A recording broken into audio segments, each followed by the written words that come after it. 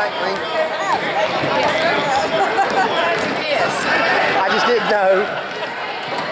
Couldn't tell if it was him or Riley.